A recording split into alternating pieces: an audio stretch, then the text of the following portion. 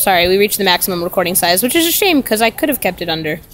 Um, but yeah, so for one of those weeks, Rox is going to join me. I don't know if for the Switzerland part, the Germany part, or the Iceland part, but Rox is going to join me for a week somewhere in there. Um, so that should should be awesome. I'm actually really excited at the concept, at the idea um, of hanging with them for a while. Um, what am I up to these days? Tomorrow, today, my plan is to not fall asleep before 9, or I'll regret it in the morning. Um, but also to not fall asleep after 11, because I'll regret that in the morning too.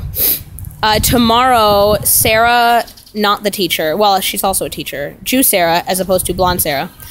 Jew Sarah has, um, although Blonde Sarah grew up in Skokie, so.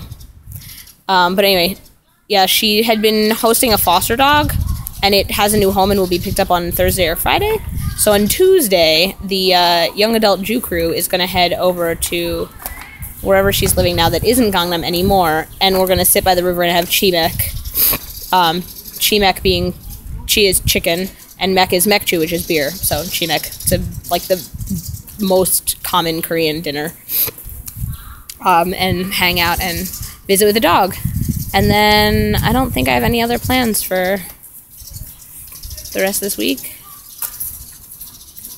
I don't know, I can't think that far. I hope your weekend was lovely and happy Easter, or I hope it was happy to anyone watching this who celebrates. Love you all, bye!